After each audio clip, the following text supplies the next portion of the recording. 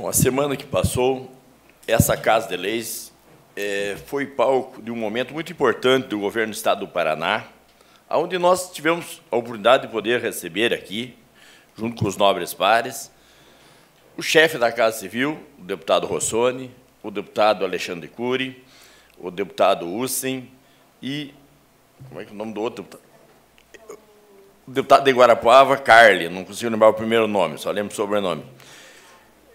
Tiveram aqui nessa Casa de Leis, em uma reunião proativa com prefeitos, com vereadores, com lideranças regionais, agricultores e produtores, secretários de agricultura de outros municípios.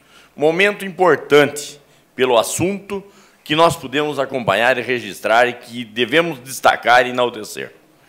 Aonde volta a ter autonomia através dos órgãos ambientais, os nossos agricultores, quanto ao manejo da bracatinga.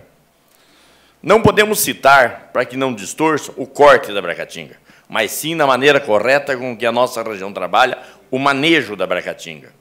Porque a bracatinga, alguns anos atrás, por uma designação do governo Requião, ele decretou que a bracatinga era nativa e era proibido o corte. Automaticamente, esse decreto estava levando a bracatinga à extinção. Porque a bracatinga ela é sazonal. Ela dura em torno de 10, 12 anos, ela seca e morre, e cai, apodrece, e não nasce outras no lugar, se ela não for cortada entre os 7 e 12 anos e a terra queimada ou roçada ou mexida. Por outro lado, além de decretar a extinção dessa forma, se tornou inviável neste período para a agricultura de toda a nossa região desde a região dos Campos Gerais até o segundo Planalto, aonde a Bracatinga bem se desenvolve. Essa medida, e que veio o chefe da Casa Civil e deputados acompanhados e que assinaram aqui, vai voltar a fazer com que os nossos agricultores, produtores rurais, enfim, todos que possuem áreas rurais, venham a sentir-se estimulados para fazer a rotação, o plantio e o manejo da bracatinga, que é o corte, roçada, queimada ou limpeza, para que nasça novamente, formando um ciclo novo. Porque a quebra da dormência da semente da bracatinga é dado pela queimada leve, é onde passa fogo, numa área mesmo perdida, né, o Borgels conhece, quem é de área rural ou conhece um pouquinho, sabe que a quebra da dormência é dessa forma. E se não, se for uma, uma forma de fazer o plantio manual por máquina, você terá que colocar a água aí aos 70 graus, depositar, jogar sobre a semente, deixando até que a água por 24 horas para depois fazer o plantio, fazer a quebra da dormência. E este ciclo da Bracatinga havia sido é, extinto por um canetaço, por parecer de técnicos ambientais aí do Paraná que não tinham noção do desenvolvimento, da produção e a, o manejo da Bracatinga graças à ação dos nossos deputados e principalmente à sensibilidade do governo do Estado do Paraná e o presidente do IAP, volta a Bracatinga ter o uso, o valor e ser produzido novamente, porque ela é muito importante por ser uma árvore melífera, que a nossa região, principalmente na região toda, a produção de mel é muito forte e a Bracatinga é uma das produtoras de muita flor e mel para os nossos produtores. Outro momento importante foi quando essa equipe, deputado Rossoni, Alexandre Cury e demais deputados estiveram junto ao Núcleo Regional de Educação, uma reunião com todos os diretores da região sul, do Núcleo Regional, junto com a equipe de engenharia, junto com as equipes técnicas e pedagógicas, tratando uma reunião aberta, onde os diretores puderam apresentar os seus anseios, necessidades e avaliar a atuação deste governo em relação à educação.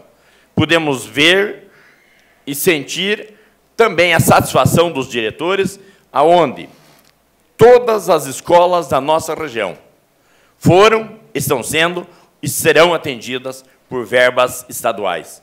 Momento ímpar, inédito. Eu, que atuo na educação há mais de 30 anos, nunca havia presenciado um momento tão oportuno e de tanto investimento na educação nas escolas estaduais. E os municípios ganham muito com isso. Por quê? 90% das escolas nossas têm dualidade administrativa. Ou seja, funciona município e Estado. E esse investimento ajuda os municípios na reforma, melhorias, ampliação das escolas, dando um up, fazendo com que as escolas tenham uma aparência melhor e uma condição melhor para a educação. Portanto, em nome da, da educação de União da Vitória Região, queremos aqui agradecer ao deputado Rossoni, por chefe da Casa Civil, por vir de Curitiba aqui para ouvir, acompanhar. Ele teve por um longo período junto ao Núcleo de Educação, onde, com uma equipe técnica de engenharia bem montada, mostrou a equipe do Núcleo de Educação ter capacidade de elaborar todos os projetos para todas as escolas, em tempo hábil, para que possam ser atendidos. Então, parabenizar também a todos, ao chefe do Núcleo de Educação, professor Ricardo, e a, e a todos os membros componentes, por darem condições para que essas verbas possam vir e serem investidas. Também essa Casa de Leis, quando precisou aprovar um projeto, para que desse as condições da averbação das escrituras e agora essas escolas receberem investimentos.